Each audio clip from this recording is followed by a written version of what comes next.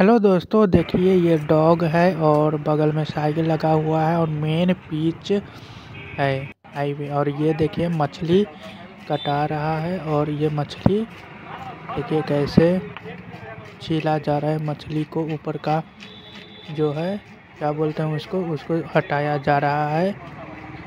अब इस मछली को कटेगा। देख सकते हैं कैसे कट रहा है। और कटने के बाद ये मछली को खाया जाएगा। इस यूट्यूब चैनल को सब्सक्राइब कर लीजिए। ऐसे ही व्लॉग में आप सभी आते रहिए और देखते रहिए क्या क्या होता है व्लॉग्स में। और ये देखिए कैसे छोटा छोटा पीस कट कर और पन्नी में पैक हो गया है पोलोथीन